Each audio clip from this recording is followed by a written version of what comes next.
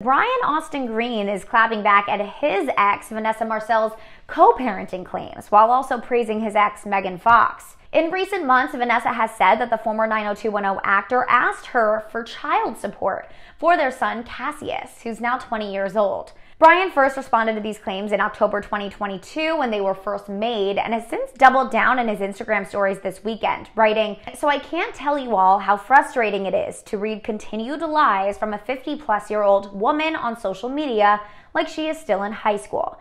She has never in her life been someone to walk the walk. Talk is cheap.